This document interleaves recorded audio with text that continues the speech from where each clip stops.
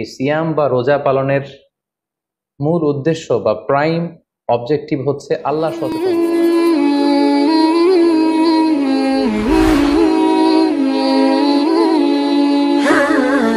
আলাইকুম রহমতুল্লাহি ওবরাকাত নাহমাদুহু অনুসল্লি আলা রসুলহিল করিম। আম্মা সম্মানিত দিনী ভাই এবং বোনেরা, পবিত্র মাহে রমাদান আমাদের একেবারে সন্নিকটে। It's knocking the door Allah রসুল সাল্লাহ আলহি আসাল্লাম এবং সাহাবারা রমাদানুল মোবারক আসার দুই মাস আগ থেকেই কবে রমাদান মাস আসবে?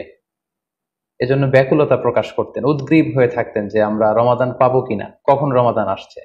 এবং ওনারা পড়তেন, আল্লাহুম্মা বারিক লানা ফি রজাবা ওয়া ও বাল্লিগনা রমাদান। অর্থাৎ, হে আল্লাহ, আপনি রজব এবং শাবান মাসে আমাদের বরকত দিন এবং রমাদান পর্যন্ত আপনি আমাদেরকে পৌঁছে দিন।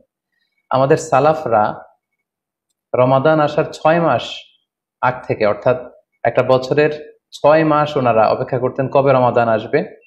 উদ্গ্রীব হয়ে থাকতেন, ব্যাকুলতা প্রকাশ করতেন।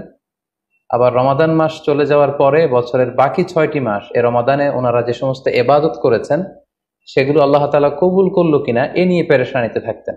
বাকি ছয় মাস দোয়া করতেন যে, আল্লাহ রমাদানে যে সমস্ত এবাদত আমরা করেছি, এগুলোকে তুমি কবুল করে নাও। এ পবিত্র মাসে আল্লাহ তালা আমাদের আল্লাহ সচেতনতা বৃদ্ধির জন্য এ মাসে আমাদের জন্য সিয়ামকে তিনি ফরজ করেছেন। আল্লাহ তালা ইরশাদ করছেন, ইয়া আইয়ুহাল্লাযীনা আমানু কুতিবা আলাইকুমুস সিয়াম, কামা খুতিবা কুতিবা আলাল্লাযীনা মিন ক্বাবলিকুম লাআল্লাকুম তাত্তাকুন। অর্থাৎ ওহে বিশ্বাসীরা, সিয়ামকে রমাদান মাসে তোমাদের জন্য অবধারিত করা হয়েছে যেমনি ভাবে তোমাদের পূর্ববর্তীদের উপরও এই সিয়ামকে অবধারিত করা হয়েছিল, যাতে করে তোমরা আল্লাহ সচেতন হতে পারো। এ আয়াত থেকে বোঝা গেল এই পুরো রমাদানুল মোবারকে যে আমরা সিয়াম উদযাপন করি বা সিয়াম পালন করি, এই সিয়াম বা রোজা পালনের মূল উদ্দেশ্য বা প্রাইম অবজেক্টিভ হচ্ছে আল্লাহ সচেতন হওয়া। এই সিয়াম আমাদেরকে আল্লাহ সচেতন বানায়। এই সিয়াম আমাদের মধ্যে এই ফিলিংস এই ভাবনা, এই চিন্তা বা এই চেতনাটা নিয়ে আসে যে আমরা এটা ভাবতে শুরু করি যে Allah is watching me Allah is observing me Allah আমাকে দেখছেন। এই চিন্তাটাকে এই সেন্সটাকে এই ফিলিংটাকে ডেভেলপ করার জন্যই আল্লাহ তালা এই মাসে সিয়ামকে আমাদের উপর ফার্স করেছেন এবং সেটাই আল্লাহ এ আয়তের শেষাংশে বলছেন লা আল্লাহ তাত্তাকুন যাতে করে তোমরা আল্লাহ সচেতন হতে পারো, যাতে করে তোমরা গড কনসিয়াস হতে পারো। আমরা যখন সিয়াম পালন করি, আমরা তখন ক্ষুধার্ত, আমরা তৃষ্ণার্ত, ঘরের ভেতরে আমরা চাইলে কেউ নেই, কেউ আমাকে দেখছেন আমি চাইলেই খেয়ে ফেলতে পারি।